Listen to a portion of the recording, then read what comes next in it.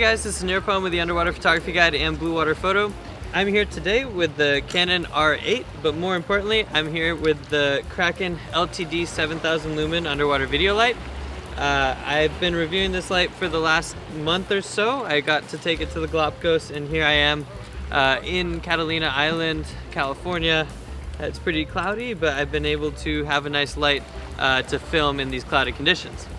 So this is the Kraken 7000. It's anodized aluminum. It's a pretty sturdy light. Uh, the most important thing about it is that it's a very stripped down version of the Hydra lights. So this is not a Hydra light, it's actually a Kraken LTD light.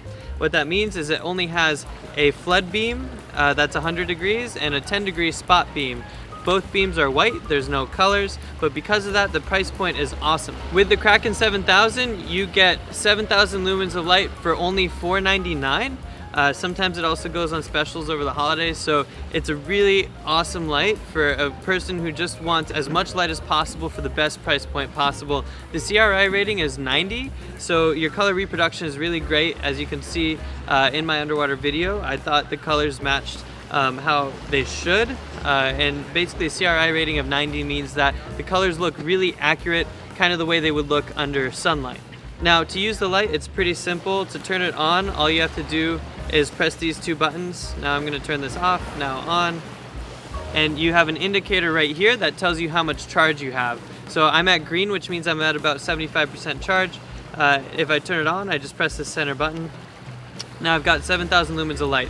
I can use the left and right buttons to turn the power up and down and then I can also put it on a spot beam which is great as a focus light uh, or just as a normal dive light. The light itself has the same battery found in the Kraken 4000 or 6000 so if you have those lights as well you can use the batteries interchangeably. They charge with a USB-C charger that is included. Uh, there is a ball mount on the light that's included as well as a YS mount. So there's many mounting options for the light. Uh, I played around with diving with one or two lights. I think they're great for both wide angle and macro video. Uh, you probably want two for wide angle video, though you can get away with one. Uh, and one is also good enough for macro, though two is nice if you want to get different kinds of creative lighting in your video. As with other Kraken lights, the light has a remote port uh, for using the Kraken Universal Remote that allows you to control the light without actually touching it uh, using a fiber optic cable, and it also has a burst port. Now the burst port allows it to take uh, flashes that are higher power than 7000 lumens. However, it's not quite enough to replace a strobe, but it is good for using the light as a strobe in a pinch. Finally, this light is depth rated to 100 meters, that's 330 feet. Uh, so if you have any questions at all about this, the Kraken 7000, Kraken 10000, Kraken 2500, and any other lights in the Kraken LTD line, uh, I'm going to be putting out a review of the whole LTD lineup.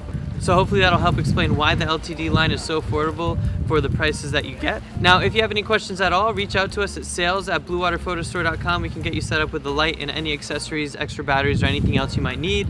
You can also buy it directly on our website. Uh, we show stock, so if it's available, then you can go ahead and click uh, add to cart and it'll get to your doorstep right away. Now, feel free to drop a comment below and if you like this video, make sure you like and subscribe. With that, I hope to see you out there diving with the Kraken 7000.